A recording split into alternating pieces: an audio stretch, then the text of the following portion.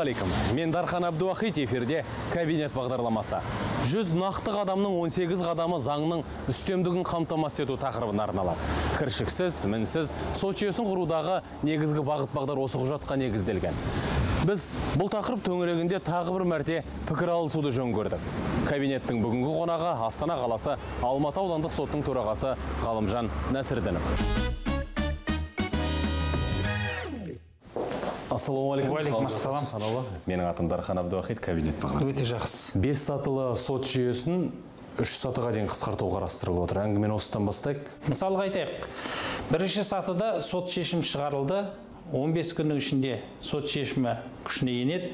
Немесе оған шағым беріледі. Шағым бергеннен кейін әрине 15 күннің ішінде тараптардың шағым беріп апелляциялық сот алқасында қарауға қазіргі таңда қаралады. Онда қандай шешім қабылданады? Мүмкін сот шешімі бірінші сатыдағы дұрыс болған болса сол шешім күшінде қалған туралы қаулы қабылдайды. Болмаса оған е- тараптар қанағаттанбайтын болса енді кассациялық сот арқасында шағымдану құқығы бар. Оған тағы да уақыттар керек.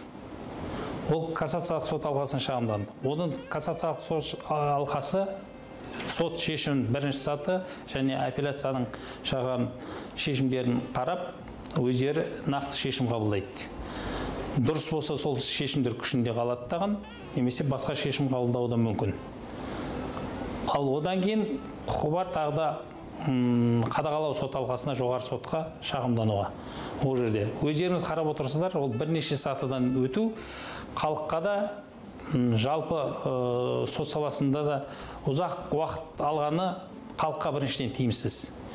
Екіншіден мынау үш сатылық сотқа көшкенде тиімді болатыны жылдам болады әрі. Үш саты ғана бес саты емес енді үш саты. Үш саты әрине жылдам уақытта ол тараптар мысалға сот шешімі нақты күшіне енгеннен кейін тез оның орындалуына тез ә, тараптардың қайсысы қанағаттандырылды соның пайдасына шешілген болса жұмыстың сот шешімінің орындалуын жылдамдатуға барлығына мүмкіндіктері бар. Енді судья болу үшін ең кем дегенде 5 жыл еңбек өтілі болу керек. Солай ғой иә иә. Өз басыңыз қолдайсыз ба бұл бастаманы? Әрине бұл өте дұрыс қойылған талап. Біріншіден ә, судья болатын үміткер ә, сот саласында кем дегенде 5 жыл қызмет атқару керек. Одан кейін судьялыққа тәжірибеден өту керек. Бір жылдық жалақысымен сондай қазіргі таңда ә, жобалар қарастырылуда. Бір жыл тәжірибеден өту керек. Одан кейін судья ә, судья болғаннан кейін бір жыл тағы да ол ә, сынақтан өту керек. Бұл талаптардың бәрі әрине өте дұрыс. Негізгі басқа саладан келгендерге әрине заңгер болып істеп кейін сот саласына келіп қиналып та жүрген азаматтар бар. Әсіресе бұл мысалға мен айтар едім үлкен ә, облыстың орталығындағы аудандық соттарда одан кейін мынау астана және алматы қалаларының аудандық соттарында істеу ә, біліктілікті өте терең керек ететін жерлер. Бұл жерге әрбір үміткер дайын болып келу үшін бірден судья болу үшін. Оны барлық ә, сот саласындағы қызмет жасап әсіресе мысалға мен айтар едім сот ә, мәжілісінің хатшысы. Бұл мамандық күнделікті сот процестеріне қатысып судьямен қоян қолтық жұмыс істеп жүрген. Мамандық сол себептен талаптардың біреуі міндетті түрде сот саласында 5 жыл қызмет атқару.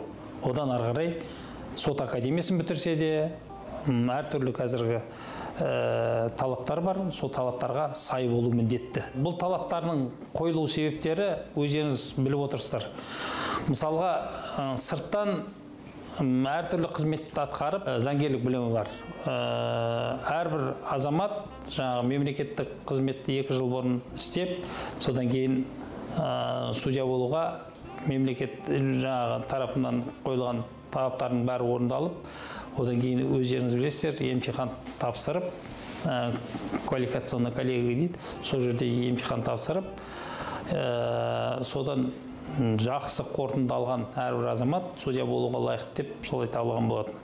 Әрине қазіргі таңда мынау сот саласындағы қызмет жалпы судьяларға талап етіліп отырған талаптардың бәрі осының өзінің бір жағынан дәлелдеп дәлелдеген есебінде ол міндетті түрде сот саласында қызмет атқару. Неге?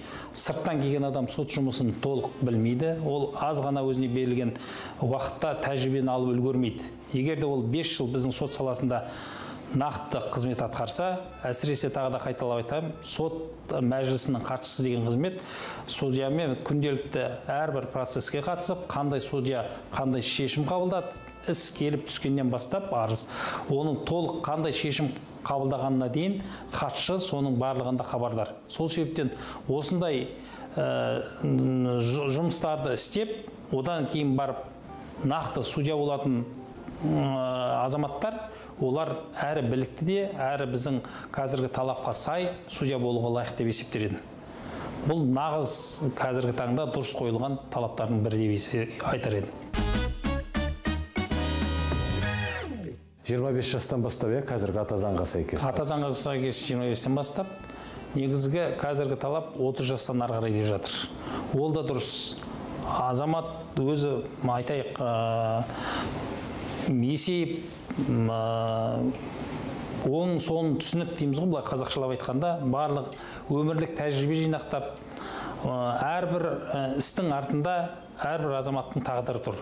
Соған нақты өз шешім қабылдай алатындай сондай деңгейге жету бұл ә, 30 жасқа келген талап етудің бірі осы мәселе. Сол себептен ол да қазіргі таңда қойылып отырған талаптар өте орынды деп есептер едім оның үстіне мысалы ажырасу процесін қарағанның өзінде де мысалы егер өзі үйленбесе 25 жасар жігіт қазір. Ол да дұрыс. Заңды некесінен ажырасу қазір көптеп кездесіп жатыр. Өзіңіз жаңа дұрыс айтып өттіңіз. Егер ол өзі отбасын құрмаған судья болатын болса отбасы қалай болу керек екенін ол шешу әрине оған да қиындық туғызуы мүмкін. Өмірлік тәжірибесі жоқ отбасын құрмаған бала шағаның не екенін білмейді отбасының ә, қандай қиындықтар туындауы мүмкін оның бәрін толық меңгермеген адам әрине ол да қиындыққа туғызады. Өкінішке орай бізде қазіргі таңда осы ажа- отбасын ә, некесін бұзу ә, ажырасу деген мәселелер көбейіп жатыр. Ол әрине мен айтар едім әртүрлі жағдайларда біреулер енді жұмыссыздық дейміз. Ерлі зайыптылардың арасында бір бірін түсінбеушілік екеуінің арасындағы мінездер келіспеу әртүрлі жағдайлар. Бұл енді бізде тәжірибелі судьялар түсіндіріп оны айтамыз мысалға заңда көрсетілген. Алты айға дейін екі жаққа келісуге уақыт беріледі. Заңда көрсетілген. Өздері қалайды. Мысалға бір, бір ай алуы мүмкін екі ай алуы мүмкін жоқ алты ай аламыз десе алты айға дейін уақыт алып екі жақ келісімге келуі мүмкін. Осының бәрін тәжірибелі өмірлік тәжірибесі бар ә, отбасын құрған судьялар болса әрине осының бәріне дұрыс көңіл бөліп дұрыс шешім қабылдап олардың отбасын сақтап қалуға көп мүмкіндік жасар еді. Соңғы кезде сот залдарын бейне және аудио құрылғылармен жабдықтау жұмыстары жүріп жатқанын білеміз. Бұл жайында елбасының жүз қадамында да айтылады. Жалпы бұл тәсіл өзінің тиімділігін дәлелдеп отыр ма? Ол біріншіден тағы да қайталап айтамын тараптарға тиімді өздеріне алдын ала сот процесі басталарының алдында ескертіледі. Бейне және дыбыс ә, қондырғылары орнатылған. Сол ә, қосылып тұрған туралы ескертіледі. Тараптар қай кезде өздеріне керек дискі дейміз ғой енді.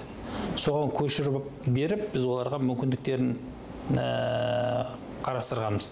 Ешкім өзгерте алмайды. Оны ешкім біріншіден өзгерте алмайды. Уақыты қай уақытта басталған соның барлығы көрсетіледі. Қай уақытта аяқталған оның барлығы толық көрсетіледі. Сол себептен оны ешкім өзгерте алмайды. Тараптарда егер бұрын енді судьяның іс әрекетіне басқасына шағым беріп жатса осы сот процесі жүргізілген бейне ә, дыбыс баспасы басылған дискті біз іске қосып тіркеп жібереміз. Оны жоғары тұрған сатыдағы ә, сотта оны барлық толық сот процесі қалай өткендігі туралы көруге мүмкіндіктер бар. Уақытыңызды бөліп сұхбат бергеніңізге үлкен ра- рахмет айтамыз. Ғалымжан патшаханұлы жұмысыңызға сіздерге сіздерге де көп рахмет.